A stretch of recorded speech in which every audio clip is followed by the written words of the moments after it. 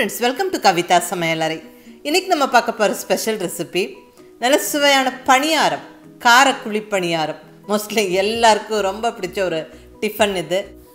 அதுவும் நம்ம தமிழ் சமையலில் ரொம்ப ஒரு ஸ்பெஷலான ரெசிபிங்க இது. நல்ல பந்து மாதிரி குண்டு குண்டாக பணியாரம் மேலே நல்ல கிறிஸ்பியாக வெந்து உள்ள சாஃப்டாக மெத்துன்னு ஆஹா அட்டகாசமாக இருக்குங்க.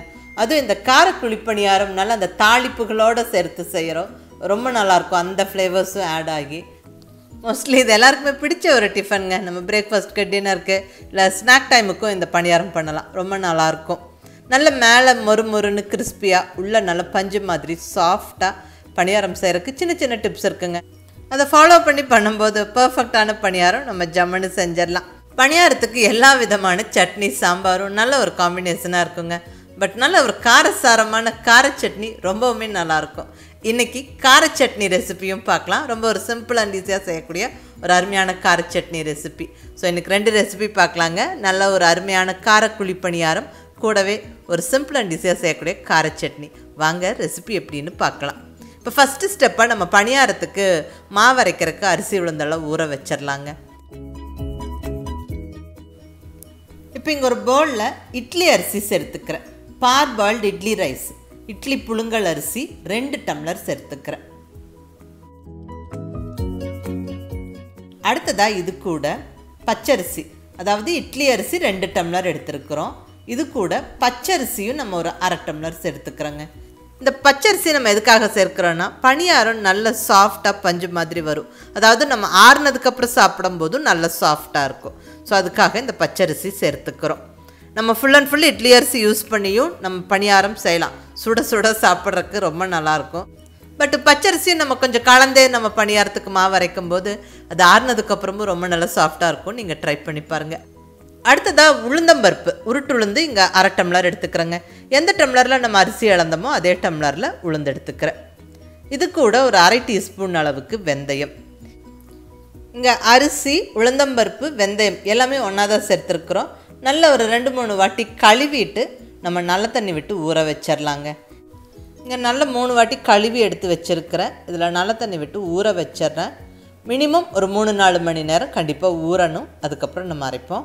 ஸோ தட்டு போட்டு மூடி எடுத்து வச்சிடலாம் இப்போ இங்கே நாலு மணி நேரம் கழித்து நான் ஓப்பன் பண்ணுறேன் பாருங்கள் நல்ல ஊறி ரெடியாக இருக்குது அரிசி பருப்பு எல்லாம் நல்லா ஊறி இருக்குது இப்போ இதை நம்ம அரைச்சிடலாம் மிக்சிலையும் அரைக்கலாம். கிரைண்டர்லேயும் அரைக்கலாம். நான் கிரைண்டரில் அரைச்சிக்கிறேன். எனக்கு அதுதான் கம்ஃபர்டபுளாக இருக்கும். உங்களுக்கு எது சௌரியமோ அந்த மாதிரி அரைச்சிக்கோங்க. கிரைண்டரில் அரைக்கும் போது மாவு நல்லா ஃப்ளஃபியாக வரும். நம்ம இங்கே உளுந்தம்பருப்பு எல்லாம் ஒன்றா போட்டு ஊற வச்சுருக்குறோம். ஸோ உளுந்தெல்லாம் நல்லா அரைப்பட்டு மாவு கொஞ்சம் ஃப்ளஃபியாக வரும். அதை நீங்கள் ட்ரை பண்ணி பாருங்கள் இப்போ மாவு நல்லா அரைச்சாச்சுங்க. இதை நம்ம ஒரு பவுலுக்கு ட்ரான்ஸ்ஃபர் பண்ணிடலாம். இட்லி மாவு பக்குவத்துக்கு அரைச்சிருக்கணும். பாருங்கள் இந்த மாதிரி இட்லி மாவு பதத்துக்கு.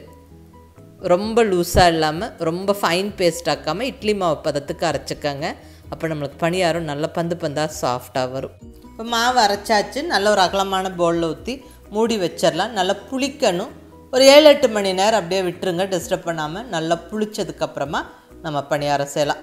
இப்போ காலையில் நம்ம மாவு ஆட்டினோம்னா நைட்டு நம்ம டின்னருக்கு பணியாரம் செஞ்சிடலாம். இங்கே எட்டு மணி நேரம் கழித்து நான் ஓப்பன் பண்ணுறேன் பாருங்கள் மாவு நல்லா பொங்கி நிற்கிது நல்லா புளிச்சிருக்குது.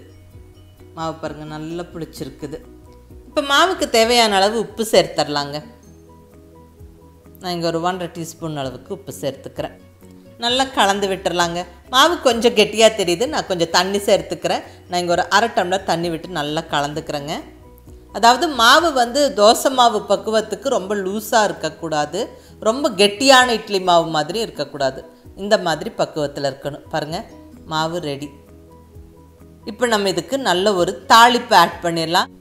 அதுக்கு முன்னாடி நம்ம எந்த அளவுக்கு பணியாரம் செய்ய போகிறோமோ தகுந்த மாதிரி மாவை தனியாக ஒரு பவுலில் எடுத்துக்கலாங்க. ஏன்னா எல்லா மாவுலேயும் நம்ம தாளிப்பு சேர்த்து கலந்து எடுத்துட்டோம்னா நம்ம மீதி மாவை ஸ்டோர் பண்ண முடியாது. ஸோ தேவையான அளவுக்கு மட்டும் எடுத்து அதில் தாளிப்பு சேர்த்துட்டு மீதி நம்ம ஃப்ரிட்ஜில் வச்சுக்கலாம். நம்ம வேணுங்கிறப்ப பணியாரம் செய்யலாம். இதே மாவில் நல்ல இட்லி தோசையும் வரும். அது நீங்கள் ட்ரை பண்ணி பாருங்கள் இப்போ தாளிப்புக்கு நம்ம ஸ்டவ்வில் ஒரு கடாய் வச்சாச்சுங்க. கடாய் சூடானதுக்கப்புறம் ஒரு ரெண்டு ஸ்பூன் அளவுக்கு எண்ணெய் சேர்த்துக்கிறேன்.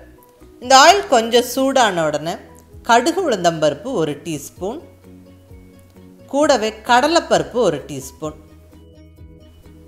இந்த கடுகு உளுந்தம்பருப்பு கடலைப்பருப்பெல்லாம் நல்லா பொரிஞ்சு வரட்டும்.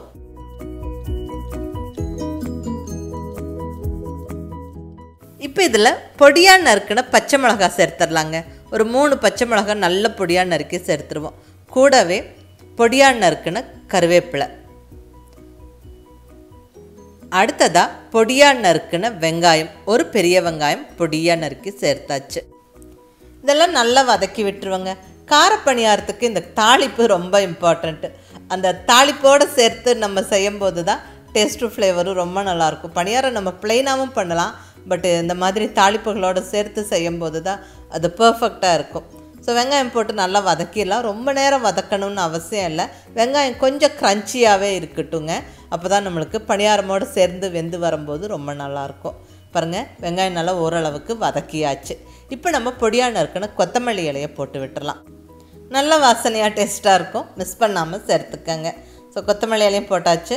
நல்ல ஒரு நிமிஷம் வதக்கி விட்டுட்டு நம்ம ஸ்டவ் ஆஃப் பண்ணிடலாம். கொஞ்சம் ஆறுனதுக்கப்புறம் நம்ம மாவில் சேர்த்து கலந்துடலாம் ஸோ தாளிப்பு எல்லாமே நம்ம மாவில் சேர்த்தாச்சு.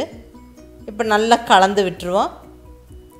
இப்போ பணியாரம் செய்ய மாவு ரெடிங்க. அதாவது தேவையான அளவு மாவில் நல்ல தாளிப்பு சேர்த்து கலந்தாச்சு. இது இருக்கட்டும். நம்ம பணியாரம் ஊற்ற ஸ்டார்ட் பண்ணுறதுக்கு முன்னாடி நல்ல ஒரு காரசாரமான சுவையான கார சட்னியை ரெடி பண்ணிடலாங்க இது ரொம்ப ஒரு சிம்பிளான சட்னி. இங்கே ஒரு மிக்ஸி ஜாரில் ஒரு பத்து வரமிளகாய் சேர்த்துக்கிறேன். காரமான வரமிளகாய் கூடவே ஒரு ஆறு காஷ்மீரி சில்லி.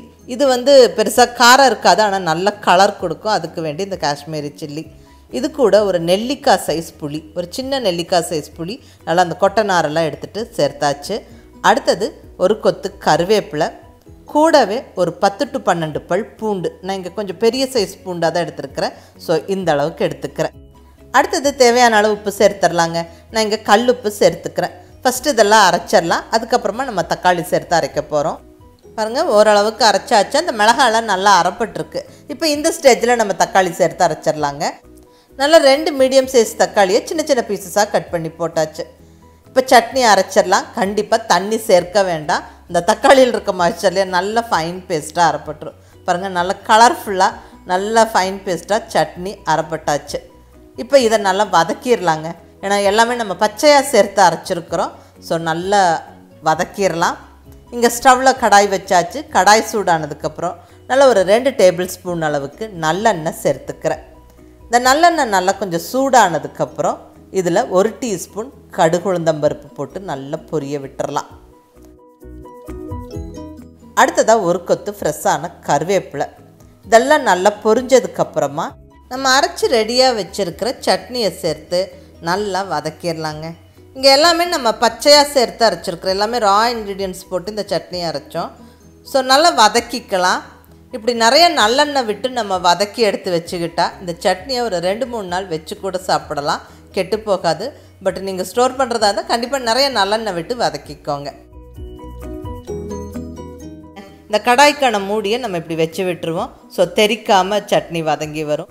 அவ்வளோதாங்க ஒரு மூணு நாலு நிமிஷத்தில் நம்மளுக்கு சட்னி வதங்கி ரெடி ஆயிடுச்சு நல்ல எண்ணெய் பிரிஞ்சு கலர்ஃபுல்லாக கமகமன்னு வாசனையோட சட்னி ரெடி இது பணியாரத்துக்கு மட்டும் இல்லை இட்லி தோசை எல்லா விதமான டிஃபனுக்கும் ரொம்ப நல்லா பொருத்தமாக இருக்கும். நீங்கள் ட்ரை பண்ணி பாருங்கள் இப்போ நம்ம பணியாரம் செய்ய ஸ்டார்ட் பண்ணிடலாம்.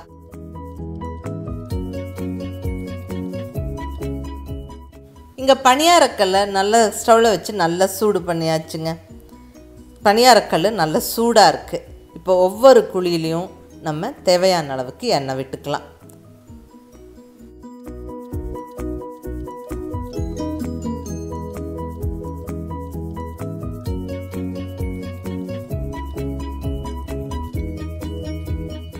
இப்போ நம்ம கலந்து ரெடியாக வச்சுருக்கிற மாவை இப்போ இந்த குழிகளில் நம்ம ஃபில் பண்ணி விட்டுறலாம்.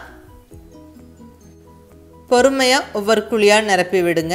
ஒரு முக்கால் முக்கால் குழிக்கு நம்ம மாவை நிரப்பி விடலாம். அப்போ தான் பணியாரம் வெந்து நல்லா உப்பி வரும்போது பந்து பந்தாக இருக்குங்க. ஸோ இந்த மாதிரி நிறச்சி விடுங்க.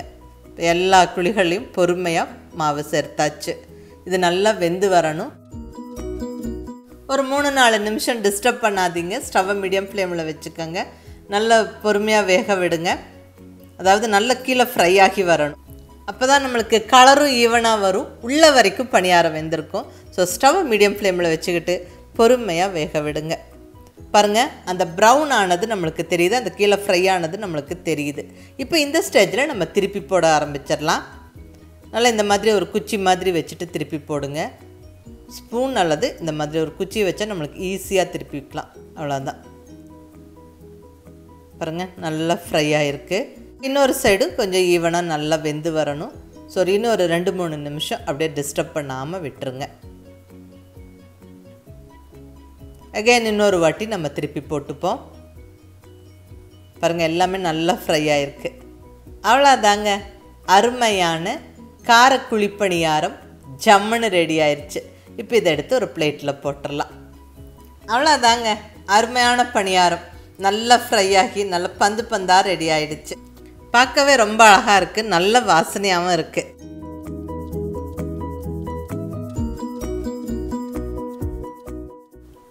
அதாங்க அருமையான குழிப்பணியாரம் சுவையான கார சட்னி ஜம்முன்னு ரெடி ஆயிருச்சு. இது மோஸ்ட்லி எல்லாருக்குமே ரொம்ப பிடிச்ச ஒரு டிஃபனுங்க குழந்தைங்க பெரியவங்க எல்லாருமே விரும்பி சாப்பிடுவாங்க. அதுவும் இந்த மாதிரி ஒரு கார சட்னியோட பரிமாறினா ஆஹா அட்டகாசமாக இருக்குங்க. மேலே நல்லா கிறிஸ்பியாக இருக்குது உள்ளே பாருங்கள் நல்லா பஞ்சு மாதிரி சாஃப்டாக இருக்குது எல்லா விதமான சட்னி சாம்பாரும் நல்ல பொருத்தமாக இருக்கும். பட் காரசாரமான கார சட்னி ரொம்ப ரொம்ப நல்லாயிருக்கும் இந்த சின்ன சின்ன டிப்ஸுகளோட இதே மாதிரி நீங்கள் நல்ல குழிப்பணியாரமும் கார சட்னியும் ட்ரை பண்ணி பாருங்கள் ரொம்ப நல்லாயிருக்கும். ட்ரை பண்ணி பார்த்துட்டு உங்கள் ஃபீட்பேக் சொல்லுங்கள் பிடிச்சிருந்தா லைக் பண்ணி ஷேர் பண்ணி கமெண்ட் பண்ணுங்கள் கவிதா சமையலரை சப்ஸ்கிரைப் பண்ணி என்னுடைய மற்ற ரெசிபீஸும் வீடியோஸும் பாருங்கள் தேங்க்யூ